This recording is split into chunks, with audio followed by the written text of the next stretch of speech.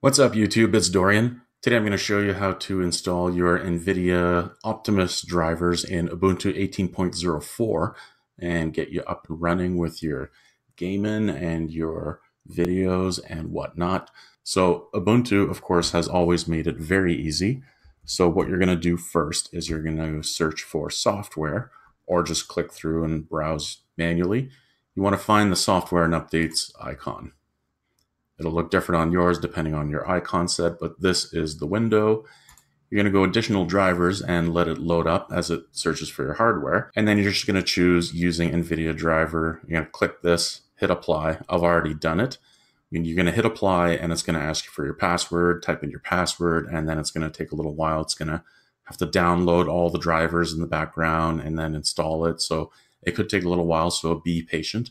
And then once it's done, you're just going to hit close and restart your machine.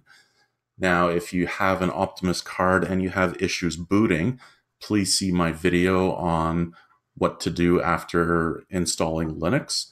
I'll put a link up here in the video. And then it's it's just a quick run through on how to fix certain boot options, which machines with NVIDIA cards seem to have this issue. It's a power management issue check the video if you have problems anyways. That's going to install your driver and then you're going to end up with this. Now you can confirm a couple of ways that your drivers are working. LS PCI. So this is going to display all your PCI devices. So if you have an Optimus card, you're going to see VGA compatible controller, which is your Intel graphics, which is on board on your CPU. You're also going to see 3D controller, NVIDIA Corporation, yada, yada.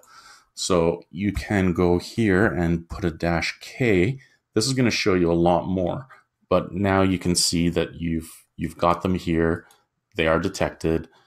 The dash K is going to show you which kernels it's using. So this shows you a little bit more. Um, so you're just going to go find it again, VGA, compatible Intel Corporation, and you can see the kernel driver in use is i915. Scroll down a little bit here, and you're going to find your 3D controller, NVIDIA Corporation, GTX 960M, kernel driver in use, NVIDIA. So I know that my kernel drivers are being used. Another thing you could do is you could type glx info, info, and it's going to show you a whole bunch of stuff that you could scroll through and you could look on your own.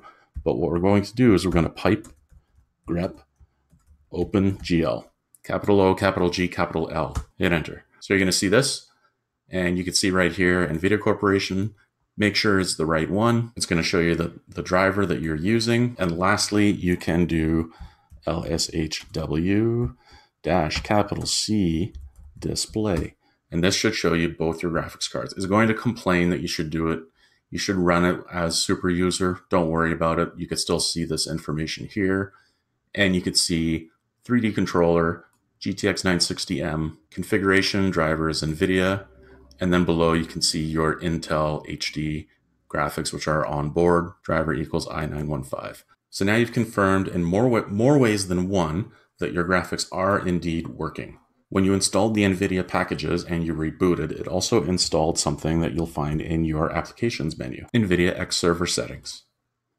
So fire this up and then let me just make this a little bigger. And under thermal settings, you click that and you'll be able to see the temperature of your GPU. And right now, because I'm recording and rendering video using my GPU, it's a little warm. Normally it's sitting around 35 to 40 or 43 degrees on average. Another thing that you could do if you are running GNOME, you can have this handy little extension up in the corner. Fire up Tweak Tools, install it if you haven't. You can install it with sudo apt install gnome tweak dash tool in the terminal or just look it up in the software center and install it that way as well. And I have the extension here. You can see NVIDIA GPU temperature indicator, which you get from the GNOME extensions website, which I covered in my last video, which I will put a link in the corner here. GNOME extensions, what are they and how to get them?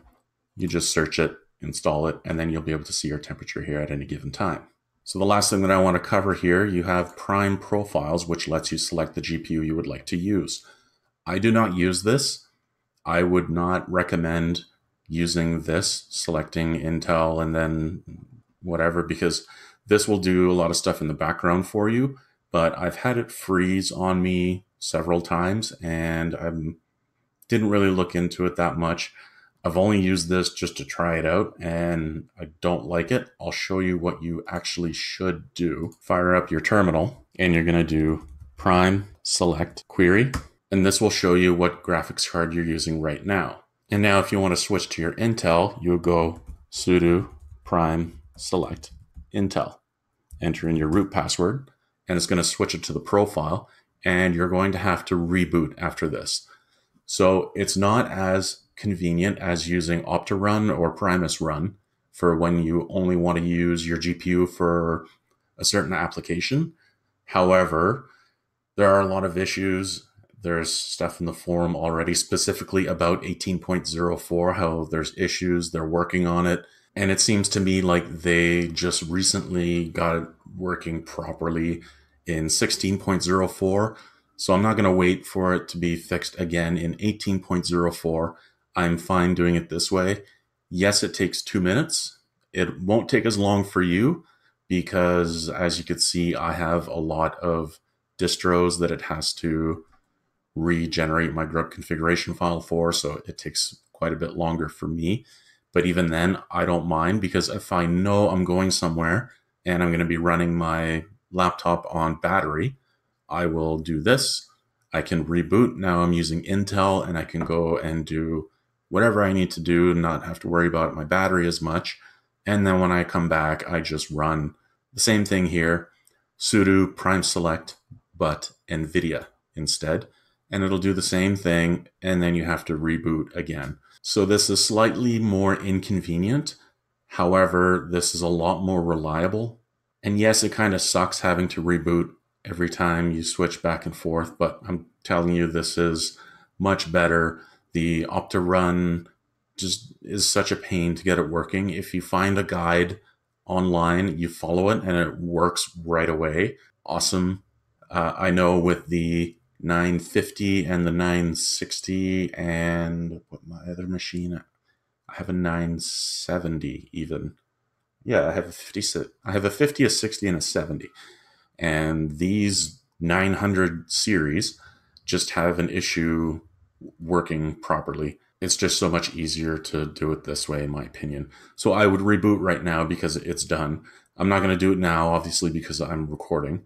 But once you're done, you will be running off of your Intel. Your NVIDIA will be shut down. And if you are running this extension, this GNOME extension, it'll say error because this extension is unable to communicate with the NVIDIA card to get the temperature. So when you see error, that pretty much confirms that you're running the Intel card. Another advantage to doing it this way is when I'm running my NVIDIA card, it's on all the time. So I don't have to go through and choose each individual application that uses my GPU. So for example, OBS, my recording software, uses the GPU for rendering. Adobe Photoshop uses the GPU. Kdenlive uses my GPU. Blender uses my GPU. So for me, even though I'm using a laptop, I would rather have the GPU on all the time because I'm always plugged into power anyways. And like I said, those times that I am planning on taking my laptop somewhere, I'll just do this quickly, reboot, close the lid so it goes to sleep, go do what I need to do, battery lasts longer. Then I come home, switch it back to NVIDIA, and then I can do my work. And in fact, sometimes I leave it on Intel for extended periods of time, but then I'll go to render something or whatever, and I, I can tell the difference in performance, or I'll fire up one of my Steam games and I either get an error because it needs it or the performance is just really bad and then the light bulb goes off that I forgot to switch it back to NVIDIA. So yeah, that takes two or three minutes for me to switch it back, but it, it's totally worth it in the end.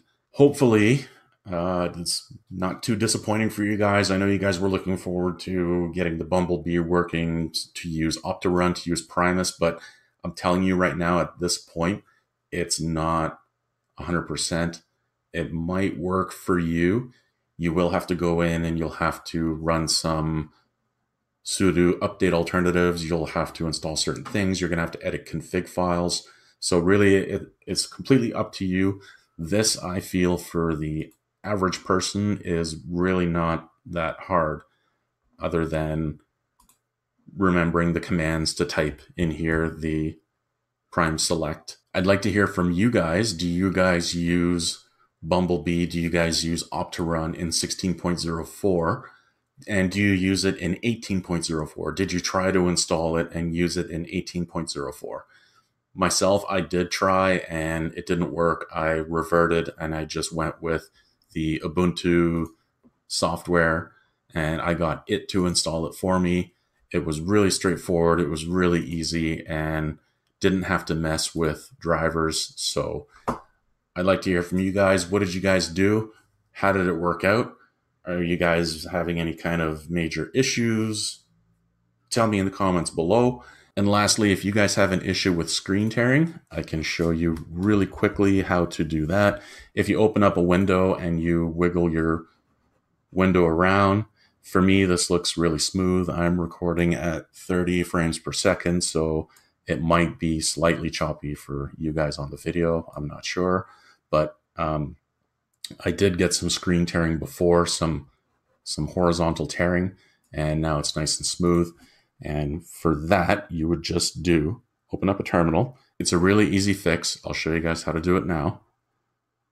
So you're gonna go sudo nano etc modprobe.d zz-nvidia-modset.modeset.conf. You're going to enter in your password. For you guys, this is probably not going to exist. It's going to be a blank file, so you're going to be creating it, and you're going to type in options space NVIDIA underscore DRM space mode set equals one. And then you're going to do control O enter, that saves it, control X to exit. And then you're going to reboot. This should fix your screen tearing. There are other videos out there, there are other how-tos out there where they have the version in here of the driver. As of Ubuntu 18.04, it doesn't care what the driver version is. So all you're going to do is NVIDIA DRM and then that'll fix your issue. So that's it for me for the NVIDIA graphics. Let me know if this helped. Let me know if it got you going. I'd also like to know, like I said earlier, if you guys tried anything, did it work for you? Did it not work for you? And also, are you guys getting screen tearing? I've got my machines here that I do a lot of testing on, and this seems to be a general fix across the board for my machines that have NVIDIA cards. So hopefully this helps you. Hopefully this worked for you. Let me know in the comments. Don't forget to like, share, and subscribe. And don't forget you can also follow me over on Twitter at DorianDotSlash. Till next time, guys, bash on.